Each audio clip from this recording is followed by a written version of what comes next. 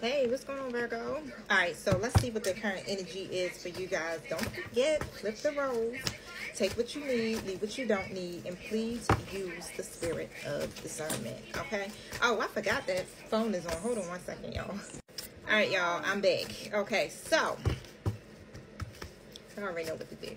Hit the like button. All right, so flip your roles as you are viewing. Oh, I don't know what I'm talking about, y'all. My bad flip your roles, okay? Take what you need, leave what you don't need, and please use the spirit of discernment. All right, now let's see what the energy is like. Thank you, Holy Spirit. Thank you that this message reaches the right people at the right time in the right places. What is going on with Virgo? Cornucopia is the first card that came out. So that's about great blessings and abundance um, coming in your life, okay? So you may have planted some seeds and they're ready to be harvested. Okay, so what else is coming with that? That's like your wish fulfillment. So something you prayed for, but is it has required a lot of patience. Yeah, attachment in the reverse, a lot of patience, um, a lot of letting go, a lot of detaching from the things that don't serve you, unhealthy relationships, mindsets, behaviors, patterns, situations, things like that, right? Um, and a man holding a coin in the reverse. Okay, mm, upright. Yo is not in the reverse, right? So the King of Pentacles, the man holding the coin, has been coming out literally in all my readings every day, pretty much. You might as well say. But um, let's talk about it. Why did this attachment card come in the reverse? You learned the art of art of letting go, pretty much. The Five of Cups is in the reverse position. So this is somebody moving into a state of acceptance, okay? Um, and releasing the past, releasing the chains to the past. This is like, this is what is happening with you, um, this man, okay? And remember, flip the rose, so clarify cornucopia here. I got my space heater on, y'all. It's a little cold. If you hear it. On the men. Yeah, so basically it's like your heart is healing or your heart has healed. Or you're getting better. You're being more compassionate and kind to yourself. Okay. And this is what makes your heart ready. Is how I'm hearing it. Too many cards. It's like your heart has to be ready to receive love in order for it to come in. And then once you're ready, then bam, boom, here it is. Right? Be here now. So practice mindfulness, right? To be present in this moment and to gain the insight. But I feel like, again, that's just about you being in the here and now, right? So in order for you to really truly manifest everything that you are truly desiring is it's requiring you to stay present 323 and sometimes that's hard to do because it, you know we're so worried about the future we're so stuck in the past that we can't even focus on what's happening right now in front of us we can't appreciate the now okay but that's where it all starts basically is here in your now and so once you do that and you're taking care of yourself and you're nurturing yourself and you're prioritizing your well-being, um, boom, it appears, right? So what do you want us to know about this man holding a coin? We need to know about this person? Why is this person always showing up?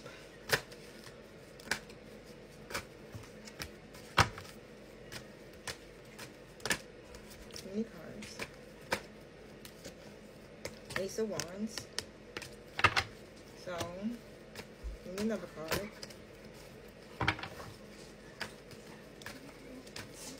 It's almost like this person is no longer questioning questioning themselves. It's like they're in the process of acting now.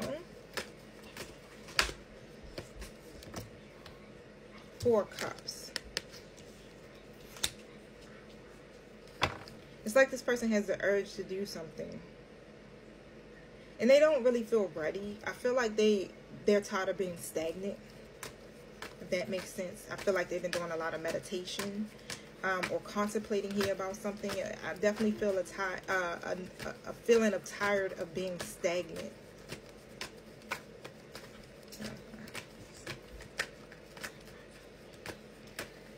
What are they reevaluating?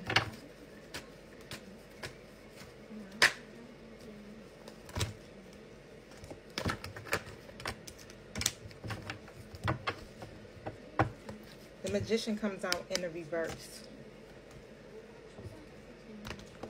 Clarify that magician reverse.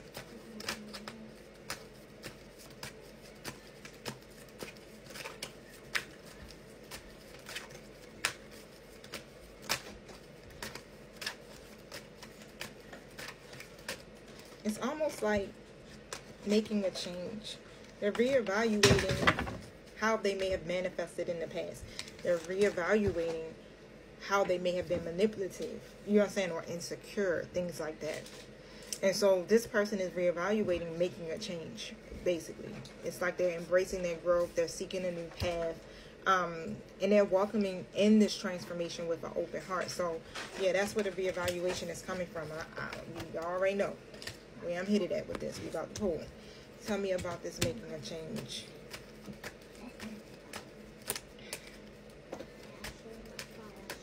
What does this change look like?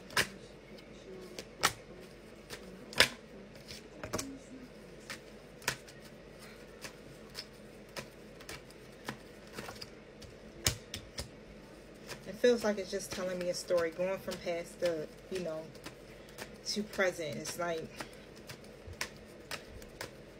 getting out of the past, staying, stop staying stuck in the past, stop being indecisive you know, four swords in a reverse position, six of cups in a reverse position, two of pentacles upright, then the fool. Okay?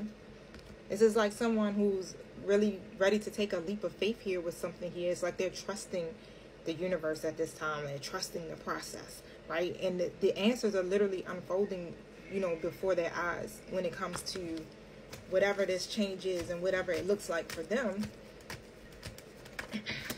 Yeah. Of Swords in the reverse. It's like they got the answer. They got the solution. It's like they know what to do. And it all surrounds making a change, letting go of the unhealthy attachments. Making that sacrifice, you know, in order to have their wish fulfilled, right? In order to be able to manifest something really in their life. So there may be a tower moment that's going to take place here, y'all. It's always a tower, right? So when we come to the end of a cycle, bam, tower falls, right? Because we got to go into the next cycle, and of course, it's always some type of lesson. You know, it's the it's it's like the chapter test. Let's just put it that way. Um, what is this tower falling about? Mm.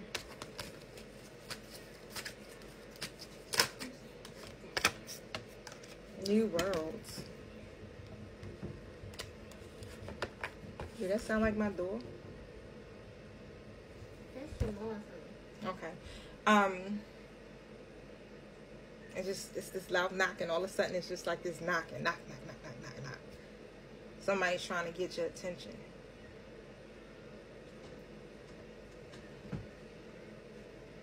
Missy, I think you should check anyways. So it's like it's it's new worlds. It's more adventures.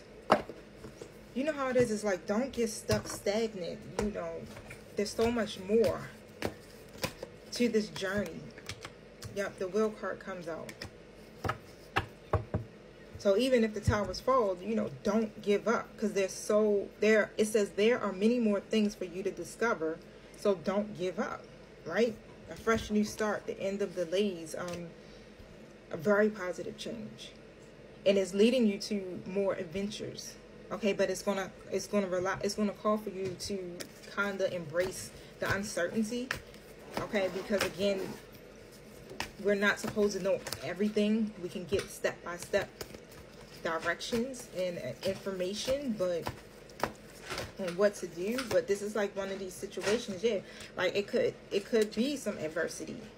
Because there's always obstacles there's always challenge challenges right?